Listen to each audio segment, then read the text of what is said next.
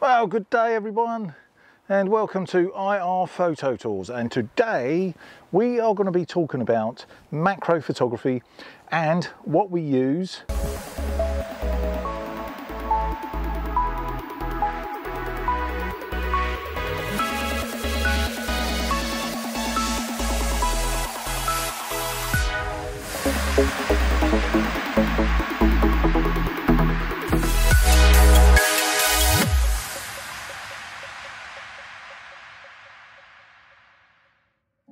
We're going to do a, some macro photography from start to finish. So here we are, set up here. You've got some lovely flowers here that the, the bees, the flies, the hoverflies, butterflies, they all love. And it's something you can do in your back garden in this time of lockdown that we have at the moment. You can get your insect photography done quite nicely. Now we have bumblebees all over these flowers at the moment. I have a Canon M6 Mark II. I am actually filming on the Canon EOS R and I am using the Sigma 24mm f1.4 for the lens, the Canon EOS, uh, the Canon M6 Mark II with the uh, EVF DC2 which is attached to it on the top and we have coupled it with a mount adapter for the EOS M mount. And we have also on top of that we have the Canon um, 100 millimeter old style gold ring macro lens. Now if anyone knows about the uh, Canon macro lenses um, especially the 100 mil specifically the 100 mil they'll know that this this guy here is great value for money.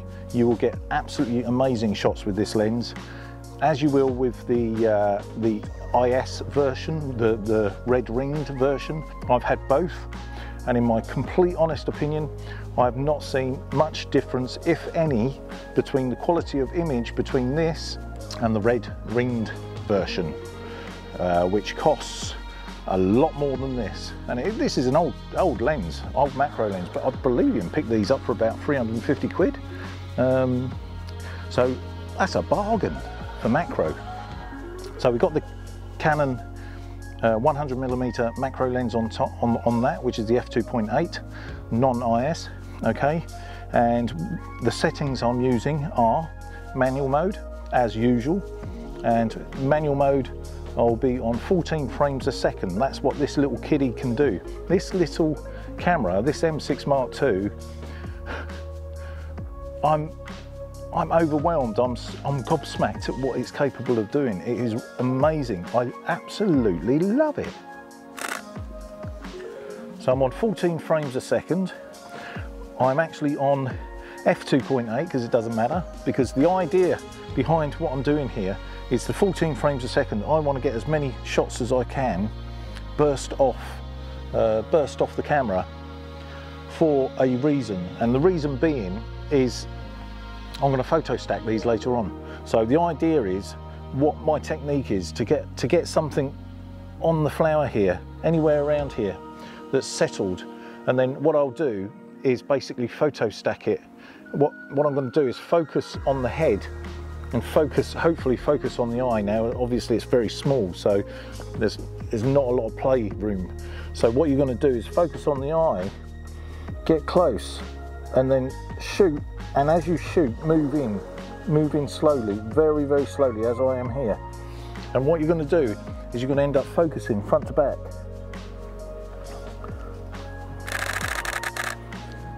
So you know we've got the shots here that we want. We got the shots yesterday that we want. So now let's get back to the studio and let's get some um, some uh, editing done and show you how I edit from start to finish from Lightroom to Photoshop and then from Photoshop back to Lightroom just to finish off touching up. So that's what we're going to do now guys. So see you soon. Right, here we are, back in the study and let's get cracking on with doing some editing. Um, this is the image of the hovering fly. Click on the, the last shot and then go to go to the, the other side to 21 and click shift and then left mouse button down and then what it does is highlight all the images, okay? So now it's highlighted all the images, so that's that done.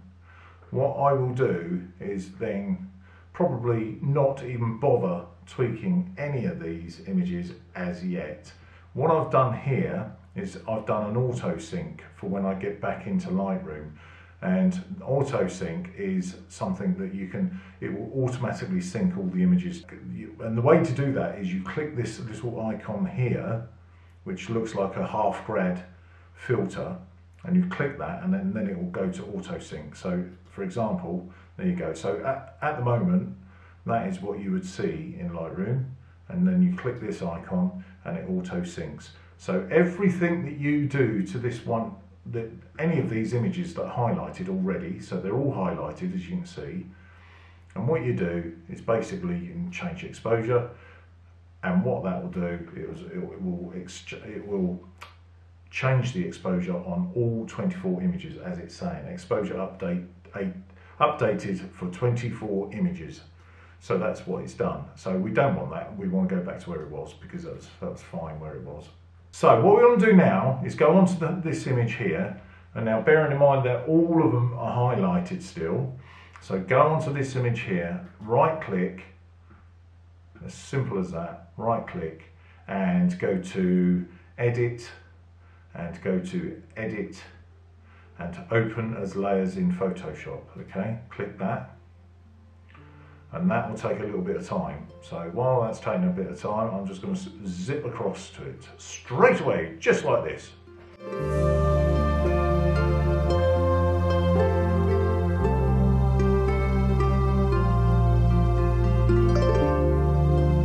So that's my first image, and that's this one here. So that's uh, 9,119.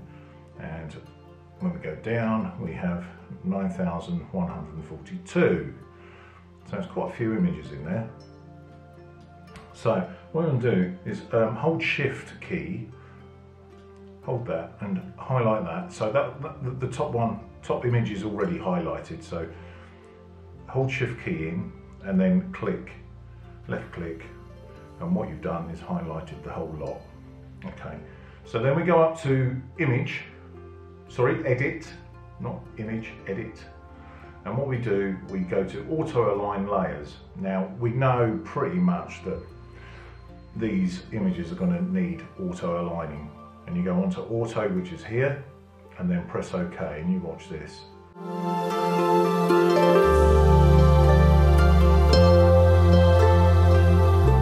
So it's nearly done. Takes a little while. It will take a little while. There's 28 images. So just got to sit there and have a nice cup of coffee, I think. there we go. Right, so that has photo stacked all the images, okay? So auto align will align every single image. Now bearing in mind, when you're hand holding your camera and you're shooting, you will be moving. There's no question of it, you will be moving. Hence why you must auto align all the 28 images. As you can see, there's all the 28 images there, all, all stacked on top of each other, and it's auto aligning my little bee here. And this is another reason why I would not crop at all in Lightroom at the start, because this is what happens, okay? So now you can go ahead and crop if you wish to, but what I would suggest is as they're all highlighted and as we've done this, we can go straight on to edit go to edit, go to auto blend layers, go to stack images, tick seamless tones and colors, tick content aware fill transparency areas if you wish to, and shall we? Depends on your image. So we're going to blend all these images together now. They're getting all blended. And as you can see, I don't know if you can see this, but as we blend, we are literally seeing, I'm going to move that across, we are literally, literally seeing in front of our eyes everything coming to sharpness, everything coming into focus, I should say. So it'll take a long time. As I say, there's the bar, it'll take a while. But everything comes into focus as we watch.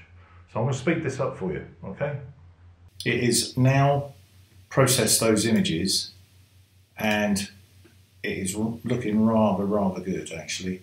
So what I want to do now is literally flatten it, flatten the image actually before I crop.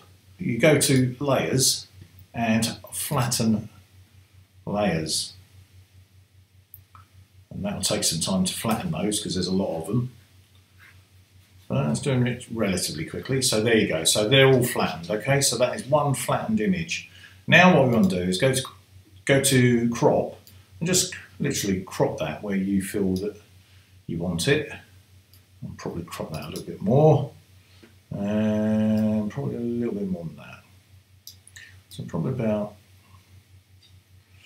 Ooh, dare say about there, possibly. Maybe a bit more. And probably go to about there, maybe get that leaf on the corner of the image, giving it, so from here, going up and down again, so giving it that. So that looks good. So with all that detail, you might think cropping it that much, you're going to lose a lot of detail. Well, Actually, you're not because you've got so many pixels in all of those images. And we're already started off with 32 megapixels on a crop sensor. So now what we've got is this image. Okay, and if we could zoom in, you can see how absolutely amazing that image is. And that's zoomed right in. So that is your full image, that is your full picture. Oh God, a bit clunky this.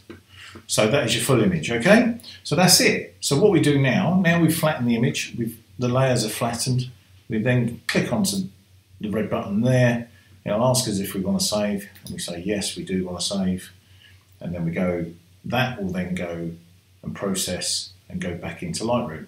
So that'll go back into, um, into Lightroom as a TIFF.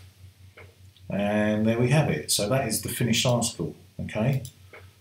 come back from, from Photoshop into Lightroom.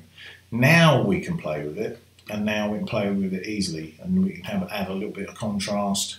Um, this is this is basically just me. This is what I do.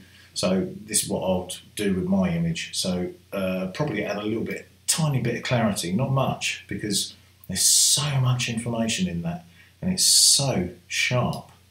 It's beautifully sharp. You zoom right in there, can see how sharp that is, one to one.